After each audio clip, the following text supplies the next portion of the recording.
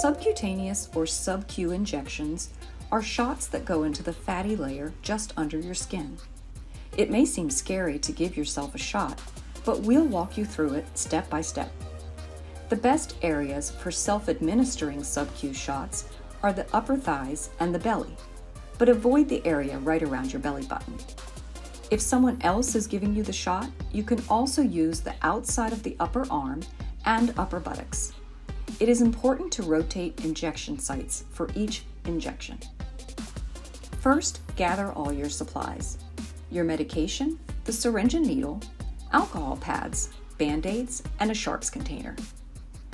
Wash your hands with soap and water, and then using an alcohol swab, clean off the area of skin where you are going to inject the medication. It will dry while you draw up your dose. Remove the protective cover from your medication vial. It will either be a little metal circle in the center of the top or a plastic flip lid. This will expose the rubber stopper on the vial.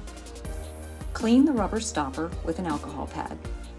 Pull back on the plunger of the syringe to fill the syringe with an equal amount of air as the amount of drug you will be using. Remove the cap from the needle by pulling straight off and away from your body. Push the needle through the rubber stopper and press the plunger to push the air into the vial. Then turn the vial and syringe upside down and pull back on the plunger to allow the liquid in the vial to flow into the syringe. Exchanging air for liquid helps to keep the pressure in the vial equal. If there are any large air bubbles, flick the syringe to move them to the top and then push those back into the vial. You may need to push and pull the plunger a bit to work the air bubbles out, but don't worry about any little ones. Now carefully remove the needle from the vial so as not to bend it. Hold the syringe like a pencil or dart over the area where you want to inject. With your other hand, pinch about 2 inches of skin or fatty tissue and push the needle quickly through the skin all the way. You may be inclined to slowly slide that needle in, but that actually tends to cause more bruising and pain. Once the needle is in, press the plunger all the way to inject the medication.